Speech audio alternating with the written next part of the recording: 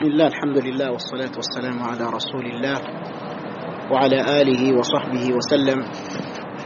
اللهم علمنا ما ينفعنا وانفعنا بما علمتنا وزدنا علما وأصلح لنا شأننا كله.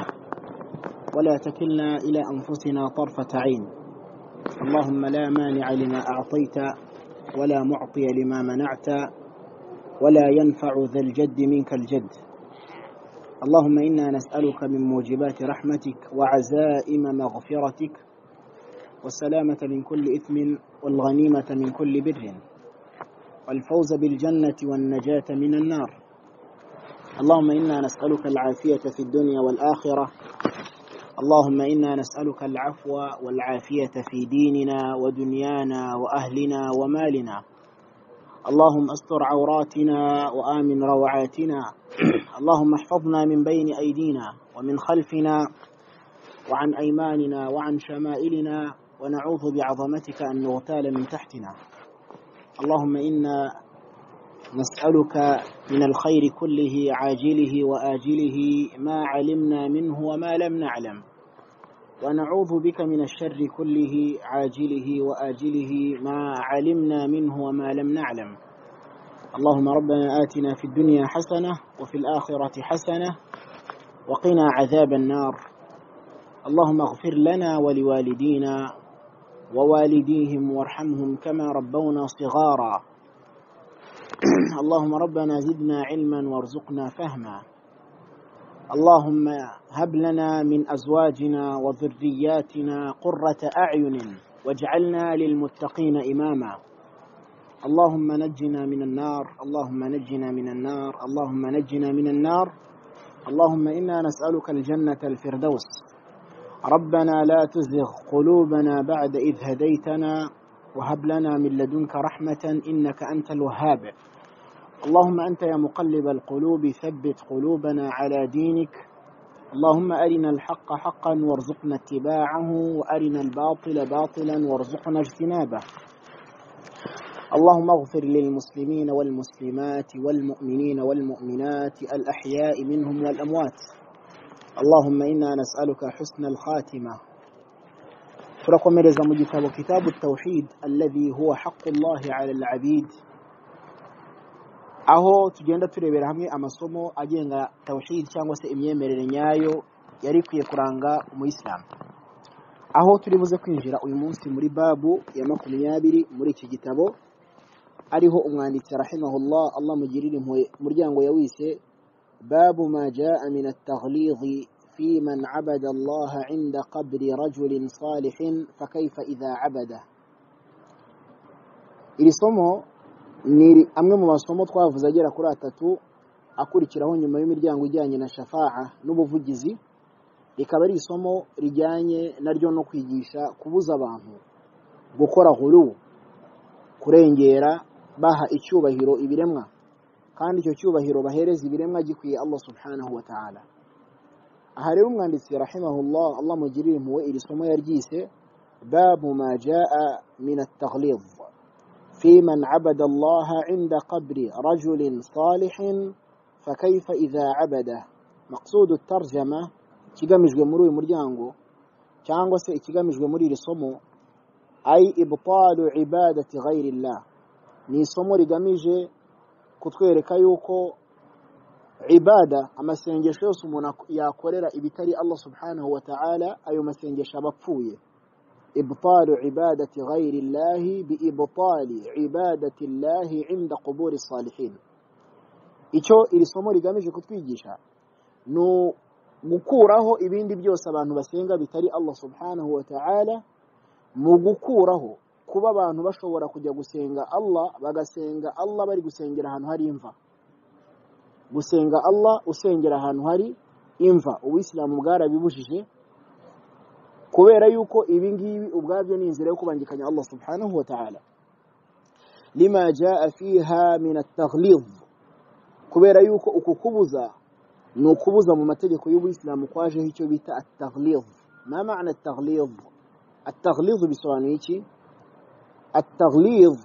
معناه النهي المؤكد النهي المؤكد ataghlidu bisobanuye kubuza biriho gushimangirwa ni ukuvuga ngo uku kubuza ni kirazira ikomeye cyane mu buyisilamu kuba umuntu yashaka gusenga Allah agasenga Allah subhanahu wa ta'ala asenga Allah ari kumva ari ahantu hari imva ari ahantu hahambye umuntu ari ahantu hari umubiri w'umuntu akaba ariho ajya gusengera no gukora ibada ibi ngibi byajeho icyo bita at-taghlid bimana an-nahyu al-muakkad ni ukubuza kw'imbaraga kubuza gukomeye cyane Allah subhanahu wa ta'ala na mtume wa Muhammadin sallallahu alayhi wa sallam batubujije kino kintu mu buryo bukomeye cyane umuyisilamu rero agomba kukirinda liannaha tuqi'u fi ibadati ghayrillah impamvu nuko kujya gusenga Allah usengera ahantu hari imva ibi biganisha ubikora mu ki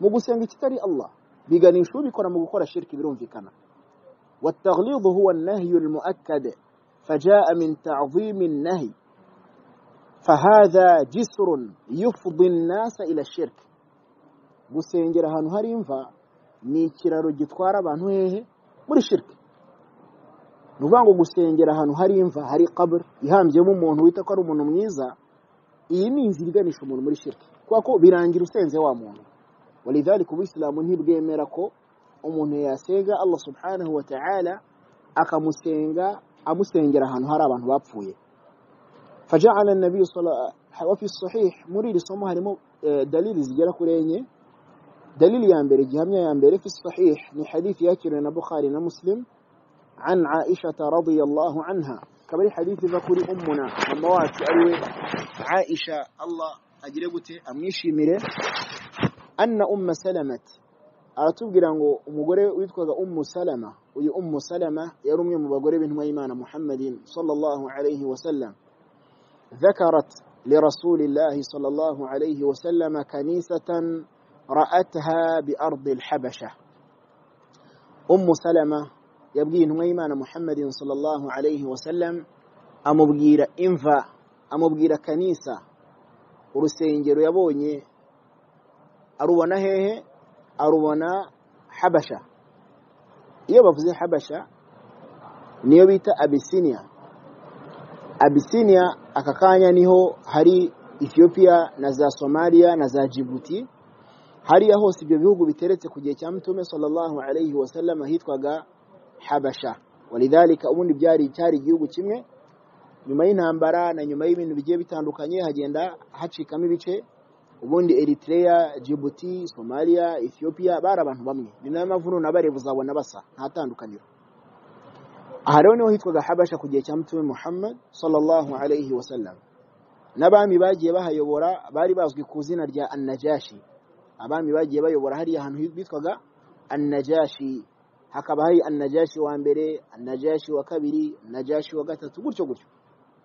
No ku gihe cya mutume sallallahu alayhi wa sallam wa undi yandikiye amusaba ko umuyisilamu yinjira idini nawe yitwaga An-Najashi. Iyo ni kamere yari imenyerewe cyane ko ibihugu bigenda bigira uburyo bihereza amazina abami babo. Walidhalika Misiri Egypt na yo ku gihe cya Musa tuzi ko hari hari Firaun. Ariko ntabwo ari Firaun uriya wenyine witwaga kuriya. Ahubwo abami ba Misiri kera bose bari bazwi ku izina rya Firaun. Ahubwo hari Firaun wa mbere Firaun wa kabiri Firaun wa gatatu gutyo gutyo. Nkuko tugiye no kureba muri iyi myaka yacu turimo mu gihugu cya France ubufaransa mbere y'imyaka ingahe hari hazwi ko hari hari ubwami bwabo bitaga ba King Louis abami ba Louis birazwi mu mateka yuko bari bahari. Ku gihe cyo bitaga Napoleon Napoleon Bonaparte uyu nguyu hari hari umwami witwaga ngo ni King Louis the 16th wa cumi na gatandatu. Bisobanuye ngo niba habaga hari umwami wa cumi na gatandatu witwa King Louis habaga hari n'uwa cumi na gatanu n'uwa cumi na kane n'uwa cumi na gatatu gutyo gutyo. Walidhalika ibi rero byagiye bimenyerwa cyane mu bihugu bitandukanye ko abami bagenda bagira amazina kandi izina rimwe ahubwo hari uwa mbere wa kabiri wa gatatu gutyo gutyo. No mu Rwanda hari hari ba Rudahigwa Rudahigwa wa kane Rudahigwa wa kangahe turi kumwe ba Musinga wa mbere Musinga wa kangahe ndahiye Kigeri wa, gatatu Kigeri wa kane. Ni ukuvuga ngo aya ni amazina yagiye agaragara cyane mu mateka. Walidhalika rero alhabasha ni na yo twita nka Ethiopia y'aka kanya na Eritrea na bi- ubwo butaka bwose ni bwo al-Habasha. Ku gihe cy'intumwa y'Imana Muhammad sallallahu alaihi wasallam abasahaba bagiye bakora hijra. Hari hijra ya mbere bakoze baza muri Afurika bazaga ahantu hitwaga Habasha. Ubwo abantu bari bamaze kwinjira ubuyisilamu bahuye n'ibihano bikomeye cyane barateswa baranirukanwa abandi barafungwa abandi baricwa baza guhunga. Intumwa y'Imana irabemerera ko bahunga bahunga bahungira hehe Habasha muri Afurika turi kumwe? Hari abahungiyeho bahungiyeho bwa mbere bahungiraho na bwa kabiri. Baje inshuro zigera kuri ebyiri zose. Nyuma yaho Allah subhanahu wa ta'ala aza kwemerera biri official abayisilamu kwimukira hehe Madina. Baza kwimukira hehe Madina hari abasahaba rero bagiye bimukira babanje kuza muri Afurika bahunze ibihano. No mu mateka bitwa ba ashabu Ja'far. Mu mateka muri tarikh babita ashabu Ja'far kubera yuko bari bari kumwe n'uwo bitaga Ja'far at-Tayyar. Ja'far at-Tayyar ni wa wundi wapfiriye mu ntambara yihe ya Hunain intambara ya Hunain ni intambara intumwa y'Imana sallallahu alaihi wasallam yashyizemo abayobozi bayo bagera kuri batatu ari bo Abdullah ibn Rawaha na Zaid na Ja'far. Intumwa y'Imana sallallahu alaihi wasallam iravuga iti in istushhida uyu naramuka yishwe ibendera ry'ubuyisilamu rirafatwa n'uyu. Uyu nawe niba mwica ibendera ry'ubuyisilamu rirafatwa n'uyu. Abo bayobozi bose bagera kuri batatu baje kwicwa. Bose. Na Ja'far aricwa muri iyo ntambara ku buryo batubwira ko yarafashe ibendera n'akaboko baragaca. Afatisha kandi kaboko nako baragaca agafati- afatisha amaguru nayo barayakata walidhalika mtume sallallahu alaihi wasallam aza kumubona aguruka ajya muri aljanna afite amababa ni naho havuye izina at-tayyar Allah yamwambitse amababa mtume aza kumubona ajya mu ijoro aguruka n'amababa uyu rero bita Ja'far Ja'far umwana wa Abu Talib yavukanaga na Ali Ja'far bin Abi Talib bose n'abana bande ba Abu Talib uyu Ja'far rero nabo bimukanye baje Habasha. Mbere yo kwimukira Madina rero uyu Ummu Salama yabayeho Habasha yari ahazi turi kumwe? Ummu Salama yaje kuba umugore w'intumwa y'Imana Muhammad sallallahu alaihi wasallam nyuma yo gupfusha umugabo we Abu Salama. Ummu Salama rero akiri muri Afurika cyangwa se akiri Habasha yaje kubona kanisa. Urusengero cyangwa se ubyita kiliziya. Ra'atha bi ardi al-habasha. Yabonye kino kiliziya hehe? Habasha wama fiha min as-suwar. Aza kubona ibigirwamana birimo n'amasanamu ari muri urwo rusengero. Turi kumwe? Faqala ummu salama amaze kubibona nyuma yo guhura n'intumwa y'imana muhammadin sallallahu alaihi wasallam aza kumutekerereza ibyo yabonye hehe? Habasha aramubwira ati ya rasulallah yewe ntumwa y'imana ubwo nari ndi habasha nabonye kiliziya urusengero mbona harimo amasanamu mbona harimo ibigirwamana gutya na gutya. فقال صلى الله عليه وسلم إنما إيمان محمد صلى الله عليه وسلم رفقتي أولئك إذا مات فيهم الرجل الصالح. أبو بان هو أولئك وين دهانو هارمو أولئك. أبو وابوني خو أبقير وغانين ده؟ ني أم salama ولذلك هارمو أولئك. أبو وابوني ووي أم salama ubabona hehe turi kumwe حبشة. Idha mata fihim arrajulu salihu kamere yabo n'uburyo bateye n'uburyo bitwara ni ba bantu iyo hapfaga umuntu mwiza muri bo arrajulu salih ahangaha uvugwa ni umuntu wabaga ari umuntu ukora ibikorwa byiza yumvira imana iyo ngo yapfaga awil abdu salih cyangwa umugaragu mwiza banawu ala qabrihi masjida bubakaga kumva y'iki urusengero umusigiti bubakaga kumva y'iki? Umusigiti. Niyo kamere y'abo bantu bari bari habasha. Iyo muri bo hapfaga umuntu mwiza barazaga bagashyira hejuru y'imva ye umusigiti. Wasawwaru fihi tilka suwar. Barangiza bagashyiramo kuri uwo musigiti bagashyiramo n'iki? Na ya mafoto y'abo bantu bapfuye. Amafoto ahangaha bavugwa ni amasanamu y'abo bantu asa nk'abo bakoraga babumbaga bakayashyira muri uwo musigiti. Turi kumwe? Y'imana sallallahu alayhi wasallam iravuga iti ulaika shiraru lkhalqi inda allah abo ngabo ni ibiremwa bibi cyane imbere ya allah subhanahu wa ta'ala abakoze icyo kintu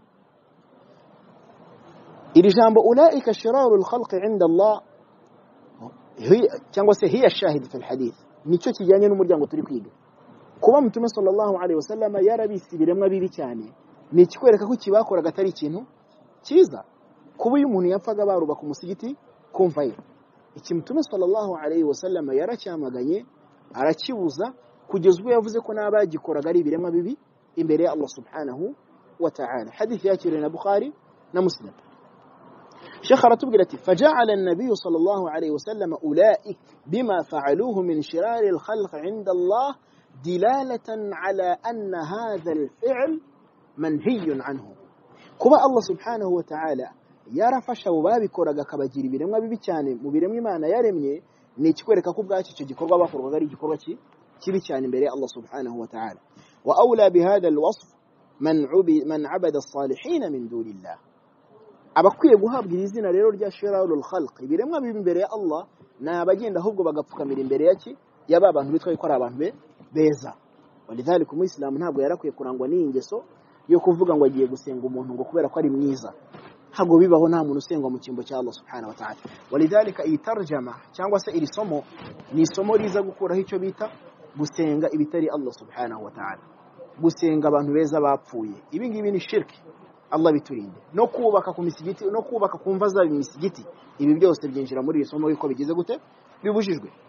Hanyuma umwanditsi rahimahullah agakomeza agira ati fahaulai jama'u bayna alfitnatayn. Bariya bakoze bahuye n'ibigeragezo bigera kuri bibiri. Fitnatayn ahangaha ikivugwa n'iki baguye mu byaha bibiri bikomeye cyane. Icyaha cya mbere baguyemo fitnatul qubur. Bahuye n'ikigeragezo cyo gusenga imva. Bahuye n'ikigeragezo cyo gusenga imva. Fitnatul qubur bimaana ibadatu ashabi alqubur ibadatu almaqburin bahuye na fitna yo gusenga abantu babaga barashyinguwe muri za mva. Fitna ya kabiri bahuye na yo wa fitnatu tamathil. Bahuye na fitna ndetse yo guha icyubahiro cyane iki? Ibisanamu. Kandi ibi ngibi byose ni iki? Ni shirki mu dini yacu y'ubuyisilamu kandi Allah subhanahu wa ta'ala akabitubuza. Dalili ya kabiri iri muri iyi somo walahuma. Iyo bavuze ngo walahuma nimuzajya mubona ahantu muri hadith bavuze walahuma akenshi baba bavuga Bukhari na Muslim. Nuramuka usomye mu gitabo ugasanga harimo walahuma akenshi baba bavuga Bukhari na na Muslim. Cyane cyane iyo bari kuvuga hadith. Bazanye hadith bagashyiraho walahuma akenshi baba bavuga nde al-Imam al-Bukhari na al-Imam Muslim radiyallahu anhuma Allah bishimire bombi hadithi nanone iva kuri Bukhari na Muslim barayakiriye anha anha iva kuri ubwo an Aisha kubera ko ariwe wakiriye yagize gute yabanje قالت عائشة رضي الله عنها يرفزتي لما نزل برسول الله صلى الله عليه وسلم ما معنى لما نزل؟ يبي بسوانيتي أي لما حضرت ساعة موته. لما حضرت ساعة موته. يجي تشوف تنو ما إيمان محمد صلى الله عليه وسلم كما زكجرا يجي سوان وتشجم لما نزل. تنو إيمان صلى الله عليه وسلم يجي تشوف تشي جزء طفق. يطرح خميصة له على وجهه. Mbere na mbere uburwayi bw'ishe intumwa y'Imana sallallahu alayhi wa sallam ni uburwayi bw'umutwe. Yararibwaga cyane umutwe kugeza ubwo nk'uko byaje muri hadithi yajyaga avuga ngo wa ra'sah wa ra'sah. Ni ijambo umuntu avuga wa ni ijambo ryo gutaka mu cyarabu avuga ati mbega ububabare ndi kumva bw'umutwe. Wa ra'sah wa ra'sah wa ra'sah. Umukobwa we Fatima akavuga ati yaba ububabare wumva yewe dawe bwajyaga kuri njyewe we ntugire ububabare wumva. Mutume rero yababaye umutwe cyane kugeza ubwo yarinze apfa umutwe umubabaza cyane sallallahu alayhi wasallam. Bagafata igitambaro bakagishyira mu mazi akonje bakagenda bagira gute? Bakimukozaho ku mutwe bamukandakanda kugira ngo umuriro yari afite ugire gute? Ugabanuke. Nkuko batubwira bamukozagaho igitambaro kikamuvaho gishyushye cyane. Salawatullahi wasalamuhu alayhi. No muri hadithi baratubwira bati inni u'aku kama yu'aku rajulani minkum. Niko mutuma tubwira ati ngiyo ndwaye numva uburibwe nk'ubwo abantu babiri muri mwe iyo barembye bumva. Mutuma iyo yarembaga iyo yarwaraga uburibwe yumvaga ni nk'ubwo abantu babiri bumva iyo barembye. Bimana yababaraga byikubye kabiri inshuro wowe ubabariye urembye. Sallallahu alayhi wasallam sallallahu alayhi wasallam ibi kandi binashimangira hadithi ya mtume ivuga iti ashaddu annasi balaan al anbiya abantu barusha abandi bose ibigeragezo bivuye ku mana ni abahanuzi n'intumwa za allah subhanahu wa ta'ala. Abahanuzi nibo bantu ba mbere bahuriraga n'ibigeragezo cyane. Walidhalika bageragezwaga bijyanye na imani bari bafite. Kubera ko imani ya mutume ntabwo imeze nk'iyawe n'iyanjye.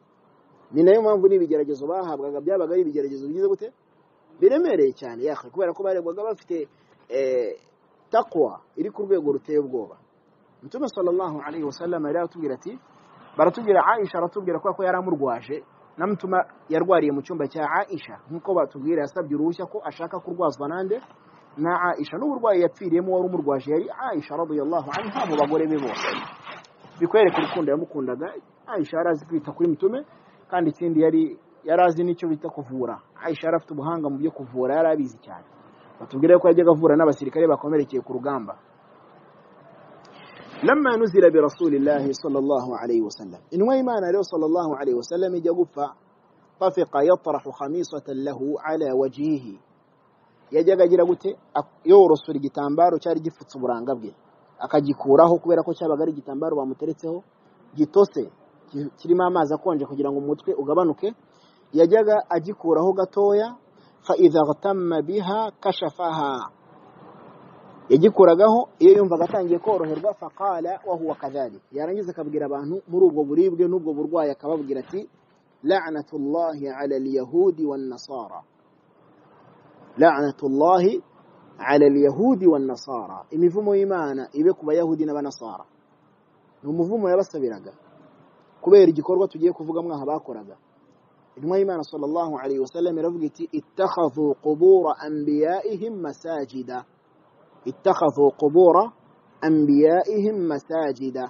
bafashe imva z'intumwa zabo zabaziye intumwa z'imana zimaze gupfa zimaze gushyingurwa bafashe imva zabo bazigira imisigiti bazigira imisigiti bisobanuye iki bajyaga baza kuzisenga turi kumwe wahada huwa shahid wa huwa maqsudu tarjama ni nacyo kijyanye n'iri somo turimo la'natullahi ala alyahudi wan nasara الشيخ هنغا العسيمي حفظه الله الله مريد كتب قلتي جعلوا ملعونين لأنهم عبدوا غير الله ikintu cyatumye bagirwa ibivumwe bakanavumwa na Allah subhanahu wa ta'ala ni ukubera yuko basenze ibitari Allah subhanahu wa ta'ala walidhalika hanga harimo isomo ko umuntu wese usenze umuntu wapfuye uri mu mva bishobora gutuma abona umuvumo wa Allah subhanahu wa ta'ala niba rero ikintu gituma umuntu abona umuvumo ntabwo ari ikintu kizima twabonye yuko la'ana bisobanuye tardu min rahmatillah kwirukanwa mu mpuhwe za Allah subhanahu wa ta'ala.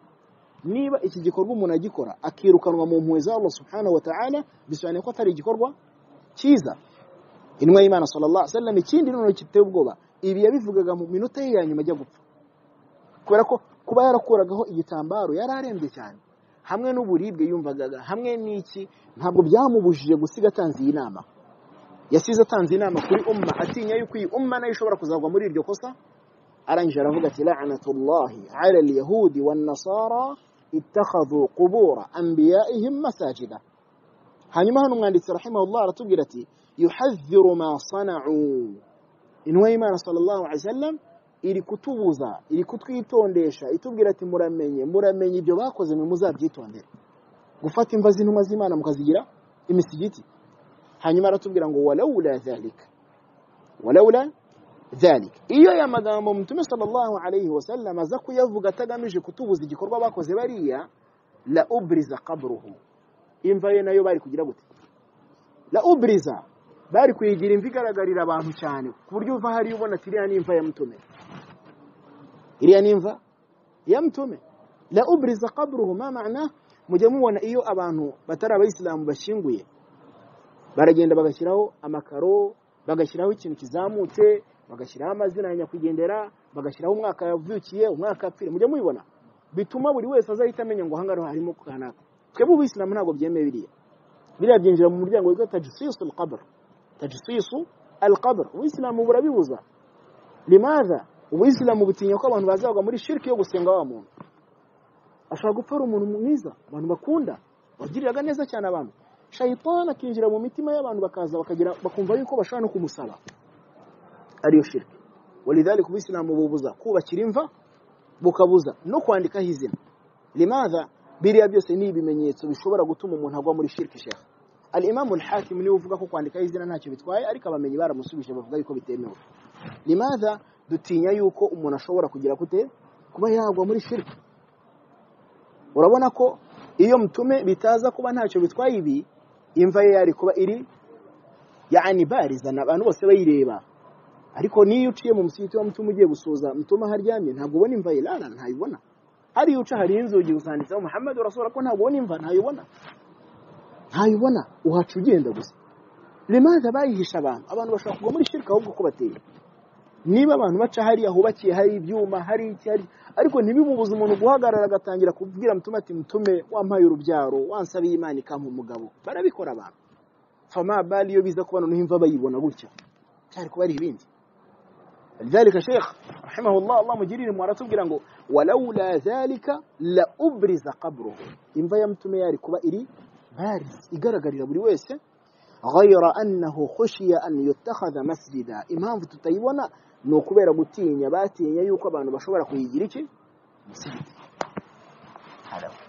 hadith turayisobanukiwe akhrajahu iyo bavuze ngo akhrajahu bimana hadith yakiriwe na bukhari nande na muslim dalili ya gatatu muri iri somo wali muslimin ni hadith iva kuri nde kuri muslim an jundub ibn abdillah radiyallahu anhu qala حديث بكري جندب من عبد الله الله من يشمر يرفض سمعت النبي صلى الله عليه وسلم قبل أن يموت بخمس أردت بأن ننبي سنما إيمان محمد صلى الله عليه وسلم بريو كفة habura gatanu habura kangahe gatanu bamwe mu bamenyi baratubwira bati habura amasaha atanu abandi bamenyi bakatubwira ngo habura nk'iminota itanu gatanu mbese bimana ikigamijwe aha ngaha ntabwo ari umubare ikigamijwe habura agahe gato bishoboka cyane turi kumwe imibare nk'iyi iba ishaka kukwereka kuko hamsa ni umubare muto. Ni nkaho nyine bashaka kwereka ngo habura agahe gato gashoboka cyane hari ababyita iminota itanu hari ababyita amasaha atanu hari ababyita iminsi itanu. Al muhimu ikigamijwe muri uyu mubare haburaga agahe gato? Jundub mwene abdillah yayumvisha aya magambo mutuma yavuga habura kino gihe gito cyane وهو يقول أزكون في نمي إيمان محمد صلى الله عليه وسلم يفقتي إني أبرأ إلى الله أن يكون لي منكم خليل ما معنى إني أبرأ إلى الله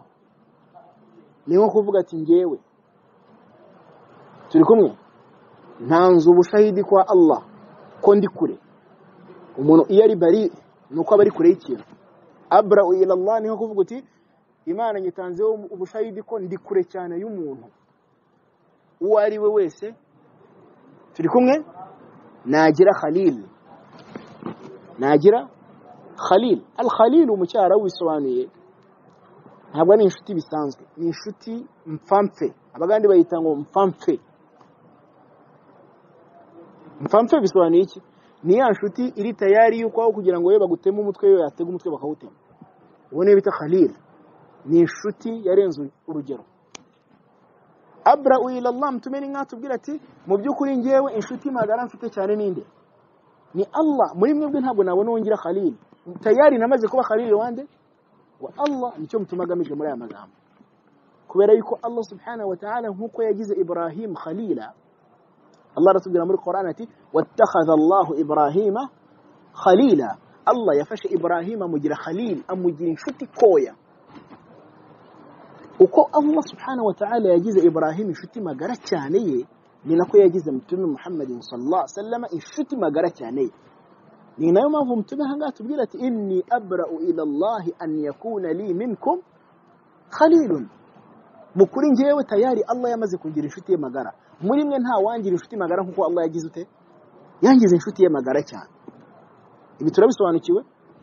Hanyuma mutuma agakomeza avuga ati fa inna allaha qad ittakhadhani khalila sini nacyo tumaze kuvuga fa hadhihi aljumla tufassiru ma qablaha iyi nteruro irasobanura yagize gute yayibanjirije ati mu by'ukuri Allah subhanahu wa ta'ala yamaze kungira inshuti ye magara cyane kama ittakhadha ibrahima khalila nkuko Allah subhanahu wa ta'ala yagize ibrahim inshuti magara cyane ye الخليل نورغوي غورينزي الحبيب الصديق الصديق. نورغوي غورينزي الحبيب والحميم والحنين. رورينزي رورغوي غورغوس نورغوي غورينزي رغو شتي شيخ هانيما متي صلى الله عليه وسلم قالكم إذا تبغيتي ولو كنت متخذا من أمتي خليلا لاتخذت أبا بكر خليلا. نيو بيزا كوبا بيشوبوكا كو مري أمة. mu bantu banjye hari uwo nanjye nagira inshuti magara cyane nkamwiyegereza cyane. Nabigira nde? Abubakar. Urumva umwanya abubakar afite muri umma mutuma aratubwira ngo niyo haza kuba inshuti magara imwe ya mpampe nagira muri iyi ninde nahitamo? Ni abubakar. Ariko tega amatwi ukuntu mutuma atubwira yatubwiye ati ariko ikibazo ni uko Mwenyezi Mungu tayari yamaze kugira inshuti ye magara. Walidhalika ndamutse ngize uwo navuga ngo wambere inshuti cyane yaba yaba Abubakar mutuma arashaka kutwereka umwanya Abubakar afite muri umma arashaka no gusubiza abandi bamutuka maze basome hadithi nk'izi ngizi shekha mutuma aravuga ati walau kuntu muttakhidan min ummati khalilan latakhadhtu aba bakrin khalila hanyuma intumwa y'imana sallallahu alaihi wasallam igakomeza itubwira iti ala wa inna man kana qablakum kanu yattakhidhuna qubura anbiyaihim masajida intumwa y'imana sallallahu alaihi wasallam iragira iti nyamuneka muramenye uyu muco mwebwe ntuzabarange umuco waranze abababanjirije min alyahudi wan nasara narababwiye ngo nimuzajya mubona ijambo man kana qablakum mu bijyanye n'idini riba rivuga alyahud wan nasara amma man kana qablakum iyo bije mu bijyanye na dunya biba bivugwa الروم والفارس قال بسواني أبروما نبا فارس هريرو ألا من كان قبلكم هرفوق بيهودي نبا نبا نصارى الله رسول قلتي مبجوكري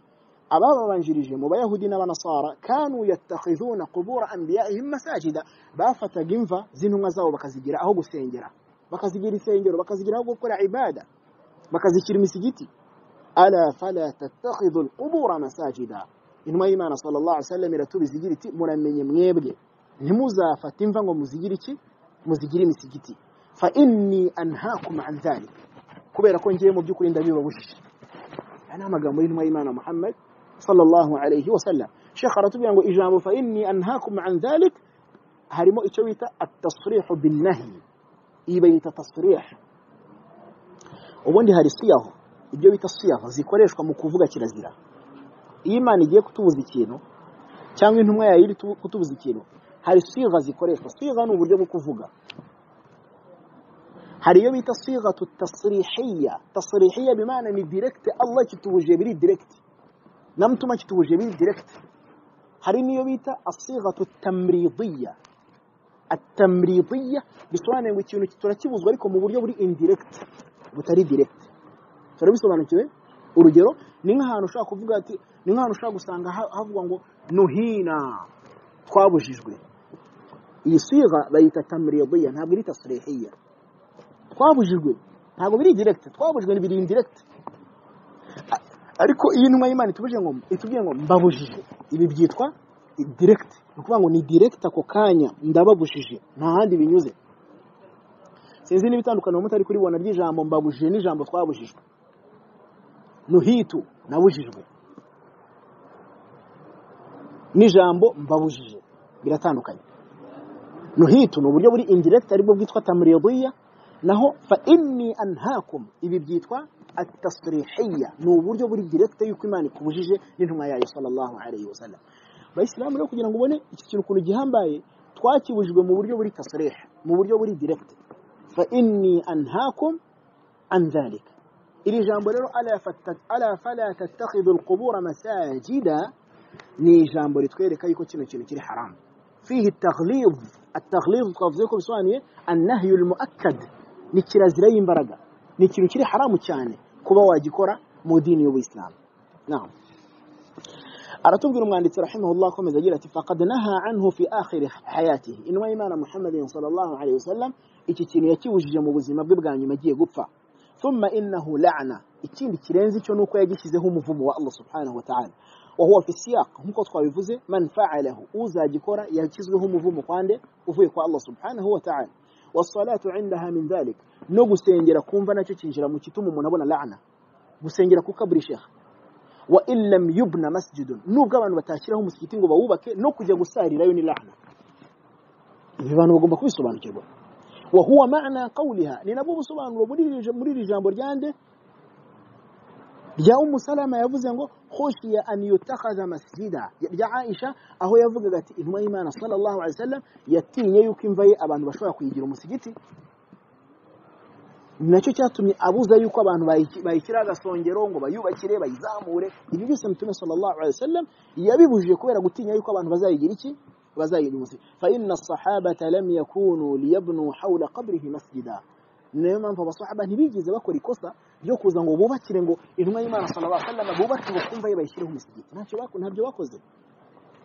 Ndumva narigeze no gukuraho shubha. Abantu bajya bagira bavuga bati ese ko imva ya mutume iri mu musigiti kandi mukaba mutubwira ko bitemewe kubakira ku mva umusigiti iyi shubha ndumva twarigeze kuyivugaho. Igisubizo cyabyo ni uko tugomba kwibaza duti ari imva n'umusigiti niki cyabayeho mbere? Habayeho umusigiti. Niwo wabayeho mbere. Ni ngo iyo ushaka kugira ngo usubize iyi shubha ugomba gusobanukirwa zino niqapu nukta ya mbere ari imva n'umusigiti niki cyabayeho mbere ari imva ya mutume n'umusigiti wa mutume niki cyabayeho mbere igisubizo cyoroshye kirafata ni umusigiti yaha umusigiti wa mutume wabayeho mbere yuko mutume apfa sibyo se byapfa sibyo habeho wa akhi shaka irihe ntayo umusigiti wabayeho mbere mbere yuko mutume apfa masala ya kabiri cyangwa se nukta ya kabiri mtume apfa sallallahu alaihi wasallam imva ye bigeze bayicukura mu musigiti. Abadan ntabwo bigeze bayicukura mu musigiti. Yari hanze y'umusigiti. Mu cyumba cya Aisha. Icyumba cya Aisha ntabwo cyari kiri imbere mu musigiti. Cyari kiri ku ruhande. Bimana mtume bamushyingura ntibamushyinguye imbere mu musigiti. Bamushyinguye mu cyumba cya Aisha. Kandi icyumba cya Aisha cyari hanze y'umusigiti. Bimana icya mbere ni uko umusigiti wabayeho mbere. Icya kabiri ni uko ntibigeze na mtume bamushyingura mu musigiti.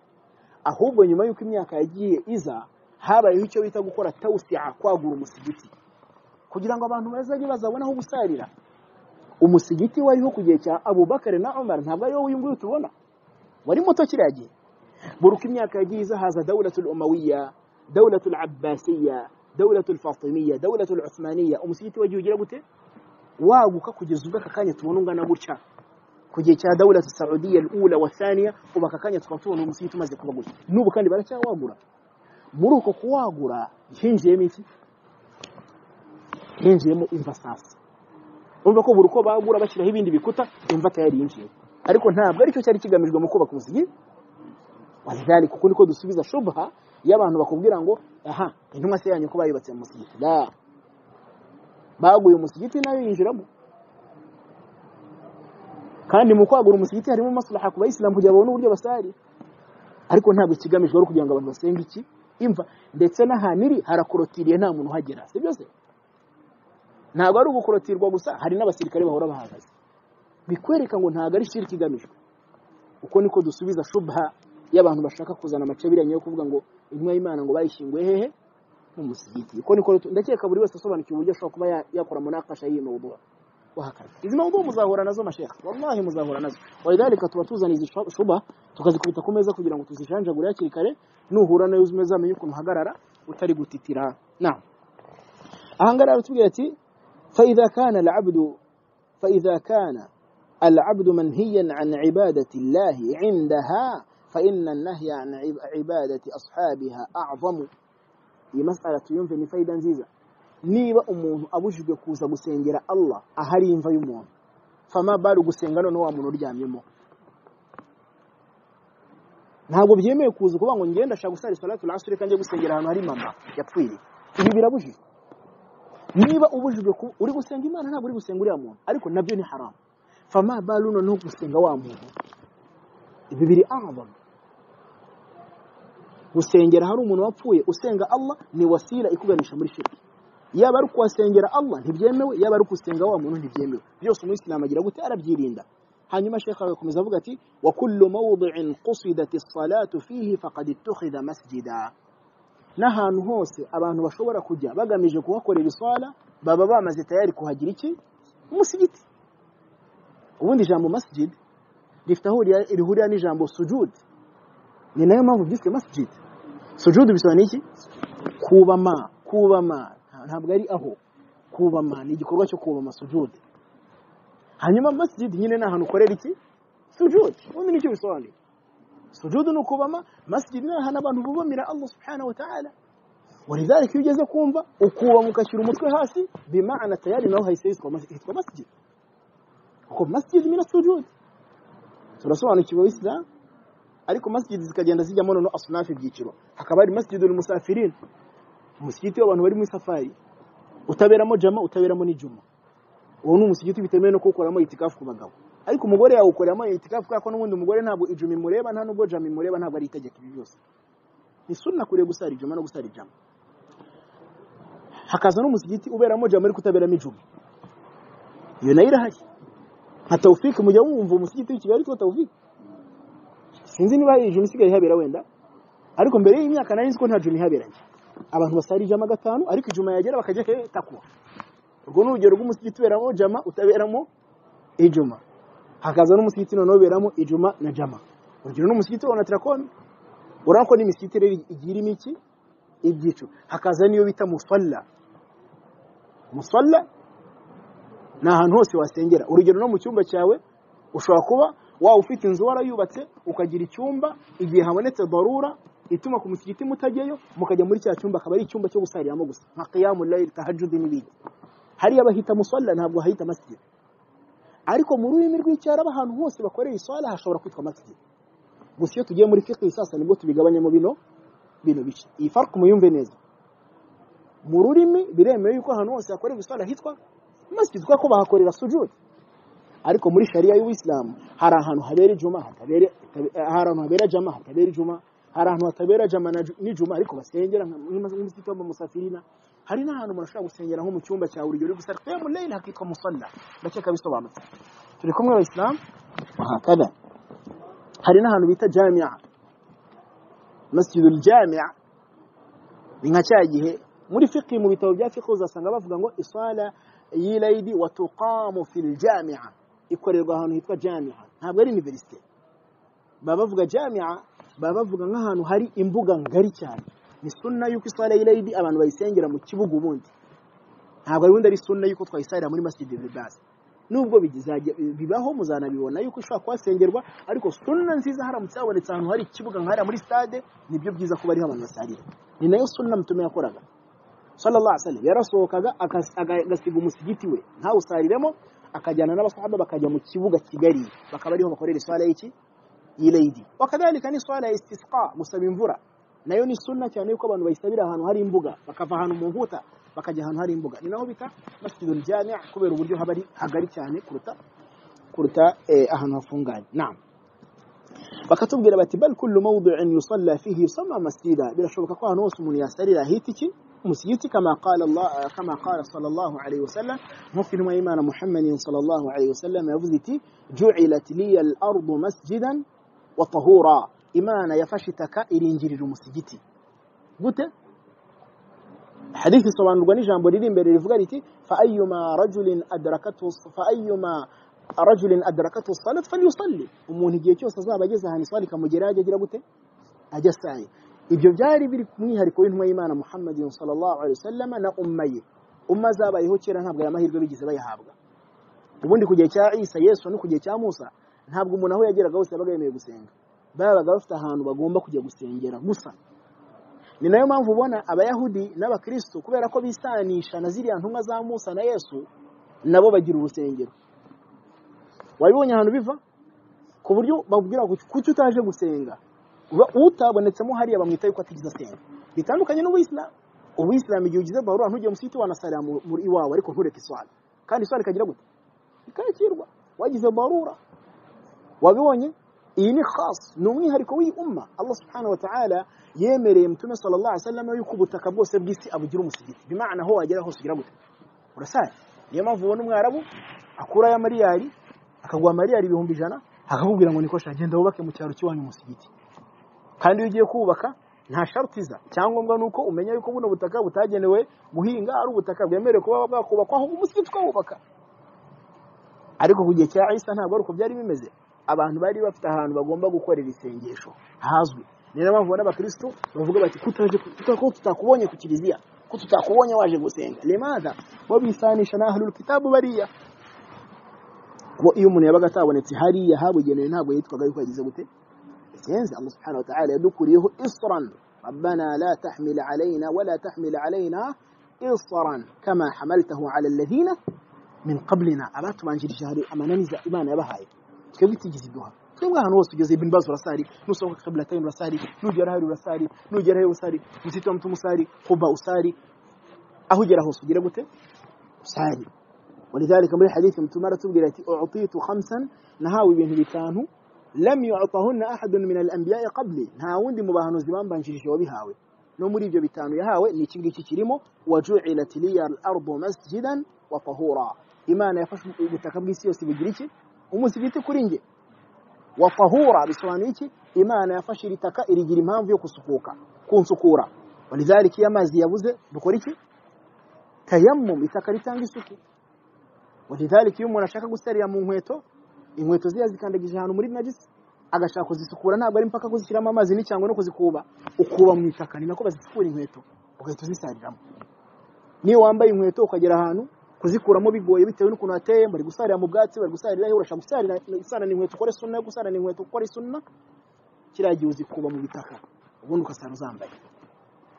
Niko baba bazisukuye. Ni naryo rino jambo wafahura itaka ritanga iki? Ritanga isuku. Ndetse rigatanga n'isuku iyo umuntu akoze iki? Tayamu. Turi kumwe abayisilamu uhakana uyu rero ni umwihariko w'intumwa y'imana muhammadin. Iyi tayamumu nta ntumwa n'imwe yigize yemererwa mu ntumwa zatubanjije nta n'imwe.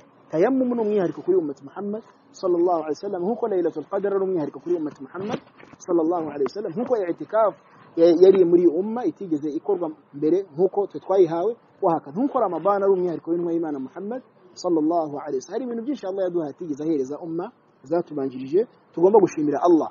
hari ibyo yabahaye twifuza hari n'ibyo twe yaduhaye nabo bashobora kwifuza mu byo yabahaye dushobora kwifuza ni ukubaho babagaho imyaka myinshi. Umuntu akunda isi umuntu akunda duniya iyo umuntu mubwiye ati wagutwara uyu munsi yaka ukigira kubona kubonana na Allah. Arakubwira ati wallahi ndugu yangu buretse ndakwinginze. Basi bigira umwaka utaha. Umuntu akunda duniya ikindi giteye ubwoba unabura uko umuntu akomeza kubaho niko yumva yakomeza. Umuntu buri uko akunda kubaho niko yumva atafashe Allahu akbar. Hubbu biri mu bintu bya mbere bituma abantu badakora tauba hubbu dunya wa karahiyatul maut no kwanga urupfu. Walidhalika batubanjirije babagaho igihe kirekire Nuh yabaye imyaka igihumbi. Imyaka igihumbi kwemva ariko? Nuh yamaze ku isi imyaka igihumbi. Twebwe kuri aka kanya umuntu ugeze imyaka ijana n'umwe ku ijana. Ijana n'umwe ku ijana. We yamazeho none imyaka igihumbi. Ibinyejana icumi. Yamaze ibinyejana icumi ku isi. Uwo ni Nuh. N'aba Ibrahimu bagiye babaho imyaka irenga magana abiri. N'aba Musa barengeje magana abiri. N'intumwa nyinshi zagiye zirenza magana abiri. Zirahari. Ashuaib n'abandi batandukanye. Adam nawe yabayeho mu myaka hafi igihumbi. Walidhalika iyi umma yahawe igihe cyo kubaho gito ariko ihabwa imigisha bariya batigeze bahabwa. Twahawe laylatul qadr. Laylatul qadr ibada ukoze muri riya joro. Imwe uyandikirwa yuko uyikoze mu myaka irenga mirongo inani n'itatu.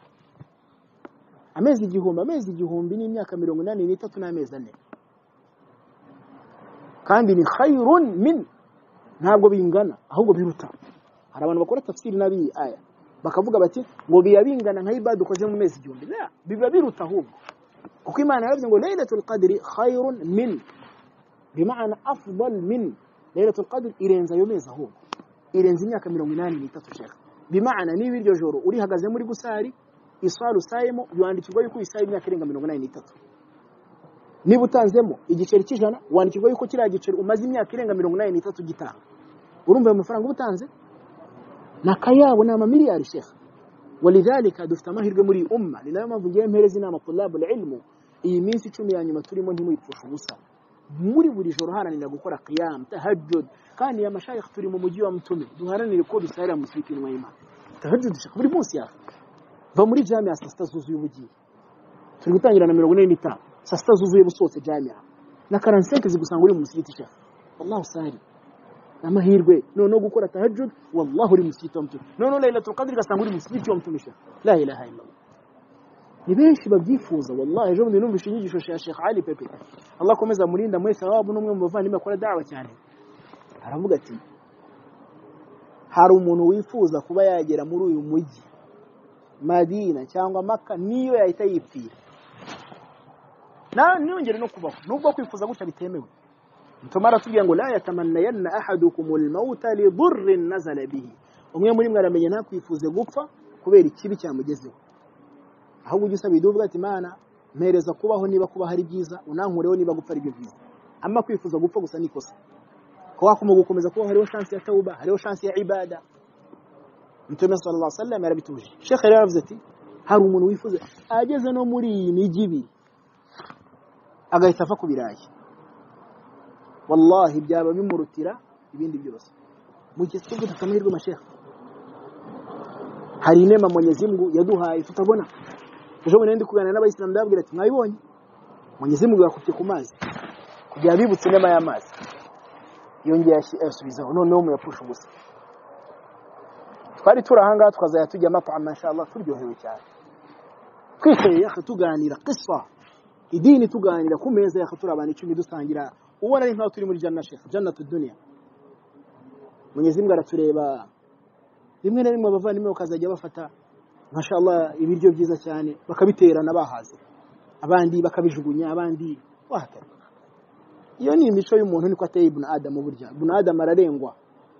Bararengwa. Abandi umuceri ntabwo ubutetse neza umuceri ubishye ntabwo uhanye n'amafaranga dutanga. Rimwe Mwenyezi Mungu akurayo hari ikiboko arakidukubita natwam irafunga agafaranga karasohoka kweri bajya hanze abavandimwe. Agafaranga karahasohokeye hanze. Yajya kurya hanze mu gitondo gusa icumi rikagenda. Yose saa irindi icumi na nimugoroba irindi icumi mirongo itatu ku munsi. Rimwe na rimwe umukafa abashobora kuba bamuhereza ushobora kurangirira mu kurya hanze. Abavandimwe sasa amarira araza ya rabbi wallahi ya rabbi tworohereze subireho matama uwo ni we bita ibn adam ya nema yo kwicarana bageze bati ibi ngiye kuba nyibimye n'ubu ngubu kugeza akanya ntabwo birasubiraho byo. Inema shekha n'amazi n'amazi yaragiye shekha abantu barerukuka baba umweru mu maso. Hajya uhura n'umuntu yatawaje gusa. Gahunda yo koga ahubwo yakiyeho koga n'umuntu afite agakombe agiye gutawaza shaka agakombe kamwe k'icyayi. Wa muntu ufungura amazi yose akavayo nk'imvura shekha ari we ugiye gutawaza agakombe. Ukamureba ukuntu ari gufataho akisiga. Okay. Bahura n'umuvandimwe agiye kugura icupa ry'amazi yo kunywa icupa ry'amariyari ane rya litiro nk'eshatu. Ari ari burinyweho akaritawazaho byose. Mwenyezi Mungu araje aratureba agira impuhwe kubera abagaragu beza babasabye idwa yongera arafungura. Alhamdulillah. Ariko ubu wenda uyafungura yafungura. Eh nimushobora nawe n'abavandimwe bari kuyadepa. Ashobora no kongera kubura bari kuvoma. Nta byabagaje hano gapikira yo kubura kw'amazi ntabwo tuari ni bwo bwa mbere kuva njye nahita hanyibonye ariko Mwenyezi Mungu arareba akabareba. Okay. Reka nkopeho gato kugira ngo mwibuke inema mufite. Lidhalika abayisilamu mu bintu biteye agahinda n'umuntu kutamenya inema afite. Kugeza inema igiye. Wallahi inema dufite muri uyu mujyi wa mutume haranira yuko aya majoro icumi yose isaye musigiti wa mutume tahajjud tahajjud ntabwo nshaka kukugora nushaka ntugiye muri tarawih tarawih nushaka kubura ahangaha wiruhukire nta kibazo ubanza unaryameho ni na byiza burya. Kubanza kuryama ukabona gusa tahajjud wabyutse burya ni na byo byiza usara unameze neza nta munaniro. Baada al-isha genda ufate isaha imwe shekhu usinzire cyangwa isaha n'igice cyangwa amasaha abiri cyangwa ujya muri tahajjud wumva uri nkaho ubyutse mu gitondo uryoshye ubundi ugenda uhagare muri tahajjud shekhu wallahi ujye sujudu uhamagara imana shekhu kubwira imana agahinda kawe alhamdulillah ba imamu hariya bari no gushyiramo umwanya munini ndakeka mwabibonye bari bahari nijoro wabibonye umwanya munini kabisa raka ya mbere n'iya kabiri wayibonye mujya sujudi shekh mukahatinda nkaho rwose ari muhagaze iminota nk'ibiri yose muri kuri sujudi itatu irira Allah ari n'usinzirira iyo titonze. Bwira Allah agahinda kawe. Kandi iyi nama bamenye bajya baduha yo kujya muri qiyamul layl wabanje kuryama ni byiza. Ni byiza. Namtumye yakunda gusara mu nyuma y'ijoro yabanje kuryama shekh bituma usara ufite imbaraga nta bitotsi byinshi. Umuntu yirwa yafunze tukiga hano ukarya ifutari ukananirwa. Ryama isaha shekh Allah yavuze muri sifa z'abagaragu beza ko babyuka ntabwo bagiye gusangira bataryamye. Sifa z'abagaragu beza kurusha abandi barabyuka bava mu bitotsi. Tatajafa. Iyi aya iravuga kuva mu buriri she? Tatajafa junubuhum imbavu zabo barazikura kuri matera zikavaho. Bakabyuka bagahaguruka. Anil madaji'i bwa buryamo bwabo na matera za dodomo barazireka. Yad'una rabbahum khawfan wa tamaa bagahamagara Allah subhanahu wa lidhalika usi nafsi wa anfusakum. Eh, yuko twakoresha amahirwe amahirwe y'iminsi icumi. Tugakora qiyamul layl ntujye kuvuga ngo rino joro ni witiri la ya mashekh amajoro yose uri mu mujyi wa mtume yose igenda yakoremo ibada shekh ubwire agahinda imana yawe. Ufite? Ubwire ya, ya rabbi ntuzankure muri uyu mujyi w'intumwa yawe. Ntafite inzu yanjye nanjye ntari mu bukode. Ya rabbi niba uri celibateri ya rabbi ntuzankure muri uyu mujyi wa mtume ntafite umugore mwiza kubera imana. Tinya imana. Ya rabbi niba wara- warashatse nta mwana urabyara Allah ataraguha umwana. Ya rabbi ntuzankure muri uyu mujyi. Allah ataraduha umwana mu gihe wasize hari agatunda wenda washyizemo ya rabbi uzankura ahangaha mfite umwa- umwana wallahi Mwenyezi Mungu arasubiza shekha Allah arasubiza. Nta buryohe nko kuganiriza imana mu jwi ritoya. Uwo muri kumwe mu musigiti muri gusarana mwese muri sujuda atakumva uvuga ngo uri kunyumva ni Allah. Walidhalika beza mu batubanjirije asalafu salih. Bo bajyaga babona yuko al afdal nuko umuntu yaganiriza imana we sujud ibyo uvuga ukwegereye atabyumva. Niyo mwamwegeranye biriya birinda ikhlasu yawe no kumenya ngo Allah ari kunyumva. Lidhalika intumwa y'imana yasanze abantu b'abakoresha bazamutse hejuru ku musozi.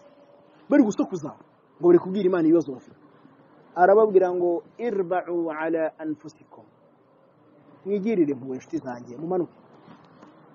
Mumanuke mwicare ayo majwi yanyu mureke gusakuza irba'u mwicare hasi mureke kuvuza induru fa innakum la tad'una al-asamma uwo muhamagara ntabwo ari igipfamatwi uwo muhamagara ni sami'un arumva qaribun ari hafi mujibun arasubiza amazina atatu wayumvisha ni amazina y'imana shekha akomeye assamiu almujibu alqarib subhanallah amazina arahambaye shekha iyo aya mazina uyatekereje uri gusaba allah uvuga ijwi rito cyane. Ya rabbi ya rabbi. Allah akaba ari ukumva gusa. Haranira yuko ukwegereye mu musigiti kuri sujuda tumva iyo ni ikhlasu shekha uramwumvisha kubera iki? Keretse aba bantu batazi kuvuga gake uwo nta kosa aba afite. Ariko mu gihe ubishoboye shekha ijwi ryawe rivuge uryumve wenyine. Na allah. Yani tashur shyira muri feelings zawe. Nkaho Mwenyezi Mungu Sheikh akuri imbere. Allah arabikunda cyane.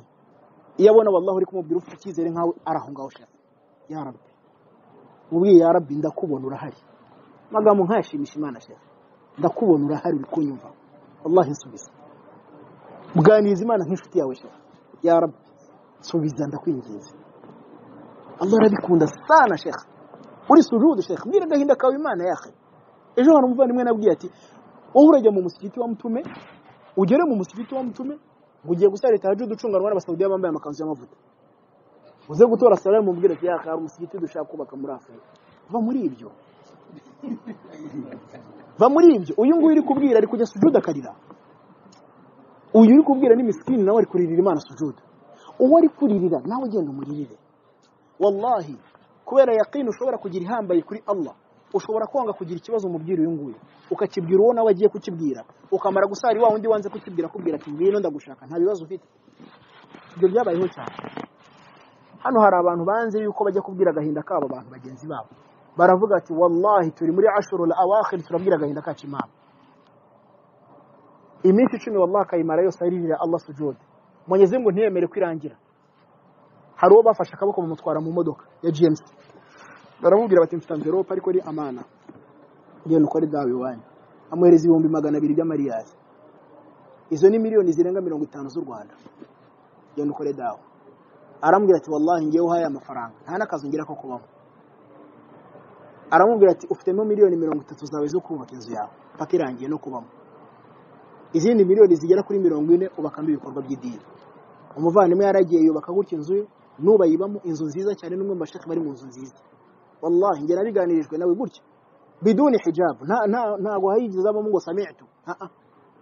Cyangwa se akhbarani ni sami'tu yabinyibwire gutya.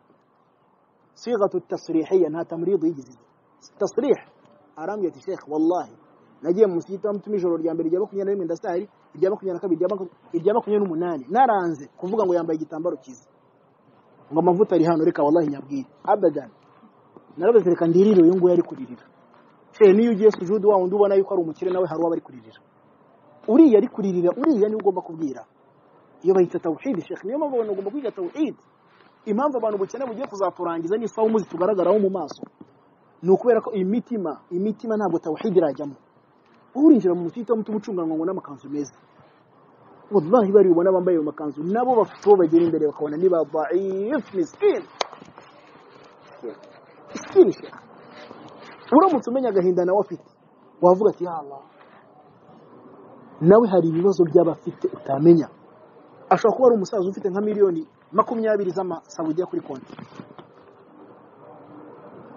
Miliyoni makumyabiri zo ni miliyari y'u rwanda irenga shaka ashobora kuba yafite kuri konti. Ubona ni umugaga agiye mu modoka wabona ko ari umugaga shaka ariko afite kanseri igiye kumwica habura ukwezi ngo apfe ariko abaganga bavuze. Buri uko ari kuza gusara arivira imana gusa. Ya rabbi ni wowe gusa. Afite isukari ituma adashobora kubonana n'umugore we. Barahari. Badashobora. Kuko imitsi ya hano hari igihe irangira kubera diyabete iyi mitsi itakwemerera ko ushobora kugira uburyo wigenza. Bidashoboka. Nta n'ushobora kuba yakwegera ngo agutsikamire barahari shekha ariko konte wayikwereka wowe. Bakavuga ngo tukuremo amafaranga tuyashyira ntabwo yasimbuka. Ntabwo bishoboka ntabwo wabibasha. Ariko wallahi agahinda afite agahinda afite allah ni we ukazi kuki utakwiyubakamo tawhidi igushoboza kuvuga ati lata mtume yabuzaga abasahaba gusaba abantu no kutagira ibyo bakenera ku bantu. Cyewe uyu muco tuwitoze. Umuco wo kwikuramo kwereka abantu ubudaifu bwacu. Dushobora kuvuganira ibiremwa tukavuga ati dufashe abantu badafite ifitari ama wowe nkawe hisha ibibazo byawe shaka byereke nde? Wallahu byereka Allah ukabihisha ibiremwa Mwenyezi Mungu agakoresha ibiremwa bigakemuka. Ubwiye umuntu ati reka dutange ifitari mugatangira igikorwa mukagikora mukagikora akubwira ati sheri ariko ubundi wowe kuki ntayiguha? Ashyira amadolari igihumbi. Arabikora. Wallahi waranze kubimwereka wabimuhisha. Mwenyezi Mungu aramubwira ati muhereze. Muhereza kadari ni kadari ariko inyuze mu maboko yawe. Umuntu wese uguha amafaranga burya akabona ndaguhaye. Aba ari ayawe burya ntabwo aba ari ahubwo ziriya ni intoki agomba gucamo aziwawe. Reka hari abaga- hari abasajya babingwa cyane babingwa babesikwa bajya baza hariya kampala hagati bakakubwira bati reba na hari kadari yanjye yaho ufite mu mufuka yikuremo yimpereza. Biriya na byo ariko n'ubwo esikoro ntabwo byemewe. Ninde wakubwiye ko kadari yawe ihari kuri kuri we ariho iri neza. Buriya n'ubwo esikoro nabwo ni ubuyayi cyane. Yaka hari kadari yanjye wabyukanye kadari yanjye ya lanshi y'uyu munsi ya saa sita ni we uyifite shaka biriya ni ububingwa bwabo ntabwo ari byo ari muhimu icyo nshaka kuvuga abayisilamu twiyubakemo kwereka nde allah agahinda kacu kureka kwereka kuza kwereka ibiremwa ibiremwa ni ibiguseka bikakuvuga ariko Mwenyezi Mungu wallahi ntabwo aguse- aguseka ahubwo iyo udasabye ararakara iyo utamusabye ahubwo niwe arababara mu gihe ibnu adamu iyo usabye rimwe kabiri ahubwo nibwo ababara reka rero dusoze ino babu ولأحمد بسند جيد عن ابن مسعود رضي الله عنه مرفوعا حديث لمر مسند يا إمام أحمد رحمه الله وكذلك رواه أبو حاتم حديث ياتي لنا أبو حاتم الرازي iyo iyo ahantu uzajya ubona bavuze ngo ni abu hatim baba bari kuvuga ibnu hibban mujye mubimenya iyi ni fayida muyifate mu mutwe nimuzamubona bavuze ngo rawahu abu hatim baba bavuga ibnu hibban yari azwi kuri kuniya ebyiri yari azwi kuri kuniya ya abu hatim na kuniya yande ya ibnu hibban Iyo bavuze abu hatim cyane cyane barizana mu bijyanye na jarh wa ta'dil hari isomo muri hadithi bita al jarh wa ta'dil ni isomo rijyanye no kuvuga ahwalu rijal kuvuga ngo uyu nguyu ni thiqa uyu ni daif uyu ni saduq uyu ni maqbul wenda inshallah muzahura nabyo imbere cyane iyo bamuzanye mu rwego rwa jarh wa ta'dil bamwita abu hatim ar-razi ar-razi naho iyo bamuzanye mu rwego rw'ibyo bita azwu al-hadith rawahu rawahu gusa akhrajahu bavuga nde ibn hibban ifaida sinzi namuyumvisha ariko inshallah nimukomeza muri musalih al-hadith muzayumva birushijeho inshallah المهم حديث ياتينا الامام احمد ndetse abu hatim ar-razi ariwe ibn hibban ndetse n'ande wundi abo ngabo nibo bayakiriye naam intumwa y'imana muhammadin sallallahu alaihi wasallam ariko iri zina rya ibn hibban niryo rizwi kuruta nde kuruta abu hatim niryo rizwi cyane wakadhalika uyu nguyu ibn hibban yari afite igitabo cya sahih hari ibyo bita kutubu sihah كتب الصحاح ني ني بتبابير مو حديث زير كل شرط ياكي صحيح. حديث زكري أرجو البخاري أفتي صحيح مسلم أفتي صحيح ابن حبان أفتي صحيح ابن خزيمة أفتي صحيح الحاكم أفتي كتبه المستدرك على الصحيح أي على صحيحين. أولونا بمن يفتي بتوجيتي جاء صحيح. تمام صحيح البخاري صحيح مسلم صحيح ابن خزيمة صحيح ابن حبان صحيح الحاكم. هذا مستدرك. Hanyuma uyu nguyu iyi hadithi bakiriye baratubwira ngo inna min shirari nas ni hadithi iri sahih. Aho intumwa y'imana isnaduhu hasan sanadi iri hasan. Intumwa y'imana muhammadin sallallahu alayhi wasallam yaravuze ngo inna min shirari nas mu by'ukuri mu bantu babi cyane imbere ya Allah subhanahu wa ta'ala man tudrikuhum as-sa'a wa hum ahya. Ni ba bantu imperuka izaza bakiriho. Ahangaha harimo gihamya igaragaza ko abantu imperuka izagera neza bahari. Bazaba ari abantu b'inkozi z'ibibi. Babi cyane kurusha abandi. Walidhalika hari hadithi ivuga ngo imperuka izaba nta muntu n'umwe ku isi ukivuga ijambo Allah. Basam ifaidu yumve mutuma aravuga imperuka izaza ku isi nta muntu n'umwe ushobora kuvuga ijambo Allah. Imperuka nigera igihe cyo kuba nta muntu ku isi uzaba ukivuga Allah. Walidhalika mu yindi hadithi ya Anas aratubwira ati yabwiye abantu bari bariho ku gihe cye b'abatabi'in arababwira ati ndagira ngo mbabwire ko nta mwaka uzaza uretse ko uzaza nyuma yawo uzaba ari mubi kuruta uwabanje Anas arababwira ngo ibi mbabwiye sami'tuhu min rasulillahi sallallahu alaihi wasallam mu yindi hadithi sami'tuhu min nabiyikum nabyumvishe ku ntumwa yanyu Muhammad sallallahu alaihi ibi ni byo bita azwu alhadith azwu alhadith uzane kuyizamura ukavuga wayikubwiye azwu itandukanye n'icyo bita takhrij alhukmu ala alhadith مصمجة تخريج الحديث. هرجو تعزو الحديثنا الحكم على الحديث. نبي نبي نبي تانوكي عزو الحديث نكو غرغر هي ونكا غرغر هي ونكا أما الحكم نكو غرغر أي حديث صحيح. كما يعني ضعيف. وجين لك جاب من يباجر والتعديل باجي زبوته بافز المهم imeru ka shekhe buruko yegera niko abantu babi baza kurusha abandi mbere y'imyaka 20 abayisilamu bari bari kuri kisi imani bari bafite ntabwo ari kakanya abo ngabo bafite twe turi ntabwo ari byo nyuma y'imyaka mirongo itanu iri imbere ntabwo ariko imani iri aka kanya izaba igihari buri uko umwaka uzunduza niko uba ufite stade bugera gute? Bwiyongere ibyo byo ni ibintu bijya mu mutwe nta n'umuntu wabipinga. Buri uko imyaka iza niko ubwangizi bugira gute? Buba bwinshi. Noneho mutuma aratubwira ngo inna min shirari alkhalqi inda allahi man tudrikuhum as-sa'atu wa hum ahya. Abo ngabo imperuka izasanga bazaba ari bo babi noneho kurusha abantu bose. المهم أنا صلى الله عليه وسلم يقول والذين يتخذون القبور مساجدا نبابا عندي إنفا بسجيرتي امسجيتي نيهم تمشي لكوكور يقول نبأ نوني مبان وبيتشاني الله بتولين ديريو. في مسائل هرمو مسألة. مري إرسومو نجد أن تجسومي الأولى يامبري ما ذكر الرسول صلى الله عليه وسلم في من بنى مسجدا يعبد يعبد الله فيه على قبر رجل صالح ولو صحت نية الفاعل. kabone nubwo umuntu yagenda akajya gusengera kumva ariko avuga ngo ngewe niya yanjye ni nziza kuko ndi gusenga imana ntabwo byemerwa ntabwo byemewe niyo bavuga ngo niya yawe ni nziza umugambi ufite ni mwiza ntabwo byemewe kujya gusengera Allah hehe kumva الثانية إشاكبري النهي عن التماثيل النهي عن التماثيل نيشاها مو إسلام جكومي كبومبا أما سنمو يبرمنا بفتره وغيله الأمر كان كتنو إنه إيمانا كبوشجي نمبرغة يعني الثالثة إشاغتة العبرة في مبالغته صلى الله عليه وسلم في ذلك كيف بين لهم هذا أولا ثم قبل موته بخمس قال ما قال ثم لما كان في النزع لم يكتف بما تقدم الله أكبر reba uburyo mutume kino kintu yagishimangiye shekha mbere yakibujije abantu akiri muzima atararwara amaze kurwara yongera akibuza abantu no mu minota ya nyuma agiye gupfa yongera akigaragaza akivugaho shekha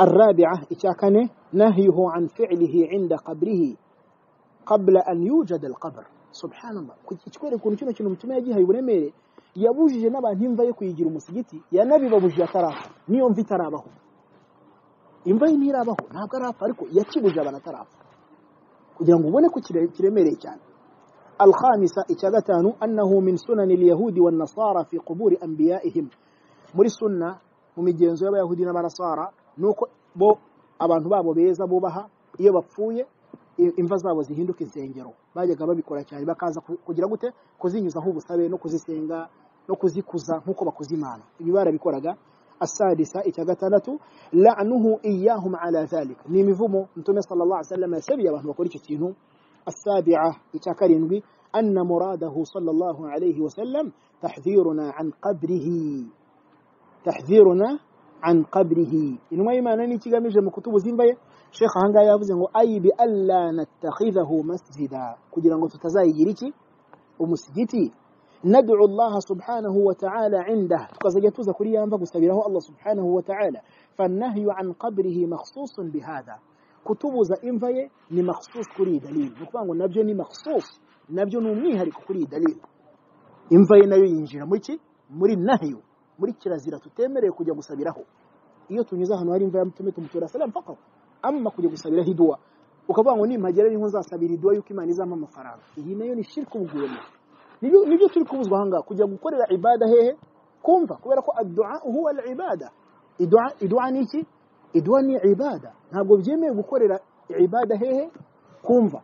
Nishaka iba ari imva y'umuntu mwiza na byo turi kwiga ahangaha na atasi'a icya cyenda icya munani nako al-illatu fi adami ibraz qabrihi intumwa y'imana tweretse impamvu yanze yuko imva ye bayigira gute bayishyira ku karubanda bayigaragaza ikajya hejuru bakayizamura nuko abantu itinya ko bayigira iki bayigira umusigiti icya cyenda ma'ana ittikhadhiha masjida igisobanuro cyo kuyigira umusigiti twabibonye al-ashira icya cumi أنه قارن بين من اتخذها وبين من تقوم عليهم الساعة فذكر الذريعة الذريعة إيش أنا بسؤالي نفذيكو الذريعة بسؤاليتي السبب الذريعة بسؤالية السبب الذرائع بسؤال الأسباب.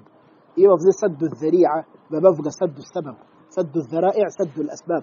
gufunga umuryango w'impamvu zatumugwa mu kindi kintu kitari نعم. فذكر الذريعة إلى الشرك قبل وقوعه مع خاتمته. نعم. الحادية عشرة لتشو من الرؤية ذكره في خطبته قبل موته بخمس الرد على الطائفتين اللتين هما أشر أهل البدع بل أخرجهم بعض أهل السلف من الثنتين والسبعين فرقة وهم الرافضة والجهمية. وبسبب الرافضة حدث الشرك وعبادة القبور وهم أول من بنى عليها المساجد.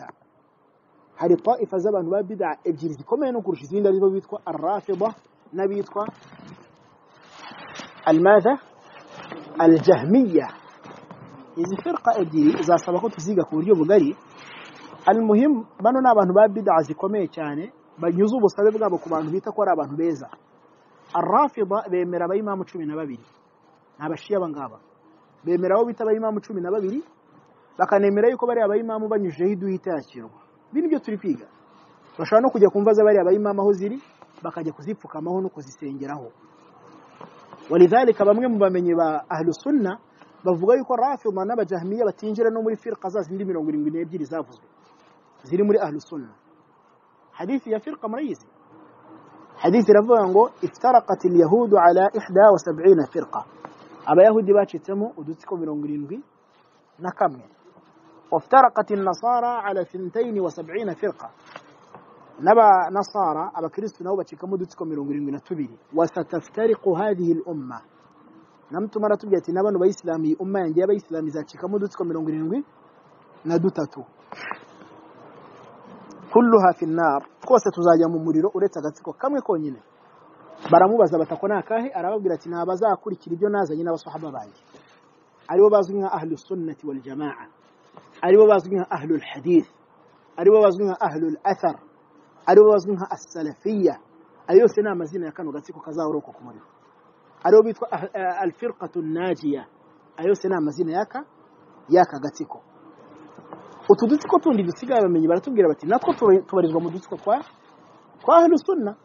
Ariko abamenyi bakatubwira ngo havuyemo udutsiko tungahe? Tubiri ari two arrafida wal jahmiya ababo ibyo bakora bibageza no ku rwego rw'ubuhakanyi. Rafida. Bavuga yuko bari bamu cumi na babiri babo bazi ubumenyi bw'ibyihishe nk'uko imana ibuzi. Iyo ni kufuru shekha bakavuga yuko abayimamu babo cumi na babiri bashobora gutanga imvura. Bakavuga yuko Qur'ani tuzuye ko hari amajuzu Abubakar ngo na Umar bakuyemo. Turi kumwe? Aya zo gusiba barazihindura imana yavuga ati musibe kugeza ijoro rije. Bo bakavuga ngo ni ukugeza nijoro. Niyo mpamvu bo ntabwo izuba iyo rirenze basiburuka abashiya basiburuka ariko ari layishayi nijoro ijoro rya nyaryo ryinjiye. Abamenyi rero bakatubwira ngo abashiya abashiya bitwa arrafida kuko abashiya barimo ibyiciro ntabwo abashiya bose abayisilamu ariko abitwa arrafida bo abamenyi kuko atari n'abayisilamu bo batatan batatan kuko bakora ibintu byinshi bya shirki Allah biturinde ni ba bandi muzabona bitemagura mu mutwe bariya nibo bitwa rafidha